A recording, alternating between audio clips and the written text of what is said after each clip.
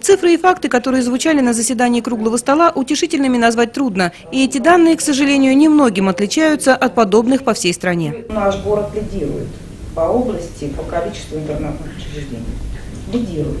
272 человека в детских учреждениях, практически все они переполнены. Э, И 417 детей проживают в замещающих семьях.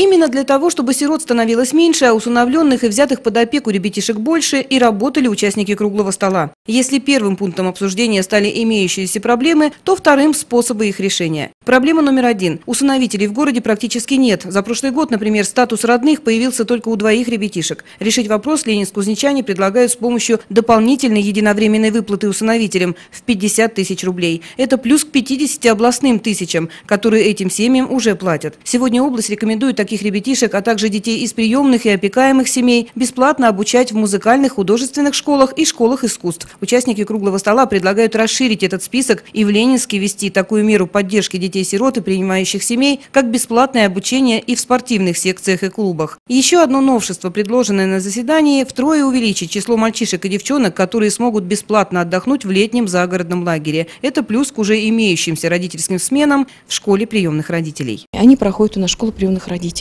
То есть они э, знакомятся с медицинской, психологической, юридической стороной вопроса, да, с моментами воспитания, то есть прос- на, на тренингах прокручивают различные ситуации.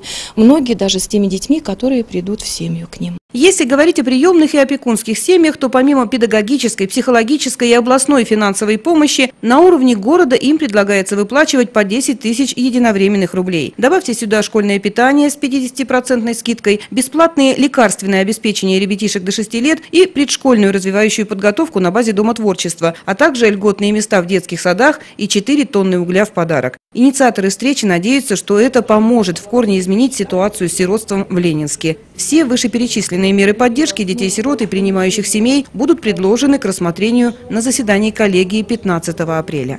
Уважаемые сограждане, дорогие наши ленинск-кузнечане, пожалуйста, приходите в управление образования, в кабинеты 6, 7, 10 по вопросам усыновления, установления опеки, создания приемной семьи. Мы обязательно подберем вам ребенка, того, которому вы сможете подарить свою теплоту, ласку, скрасить э, э, свои дни, помочь ребенку встать на ноги и сделать из него настоящего человека.